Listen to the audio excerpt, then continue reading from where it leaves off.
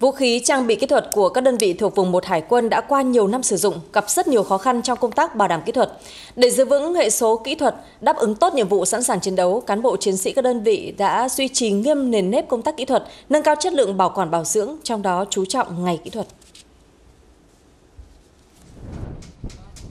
Ngày kỹ thuật tuần tại các tàu của vùng 1 Hải quân bắt đầu bằng việc chỉ huy tàu quán triệt, phân công giao nhiệm vụ bảo quản, bảo dưỡng, kiểm tra sửa chữa vũ khí trang bị kỹ thuật theo kế hoạch đã được chỉ huy hải đội phê duyệt.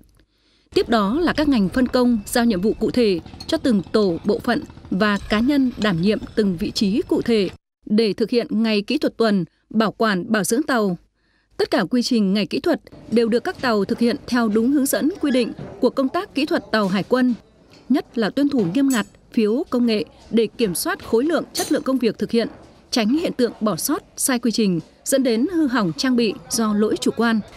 Để nâng cao chất lượng công tác kỹ thuật, các đơn vị của vùng 1 Hải quân thành lập các tổ sửa chữa chuyên sâu theo từng chuyên ngành trên tàu, lấy các đồng chí nhân viên kỹ thuật có trình độ chuyên môn tốt, có kinh nghiệm để kịp thời sửa chữa, khắc phục những hư hỏng của trang bị kỹ thuật, đảm bảo cho tàu luôn ở trạng thái sẵn sàng chiến đấu, thực hiện nhiệm vụ được ngay khi có lệnh.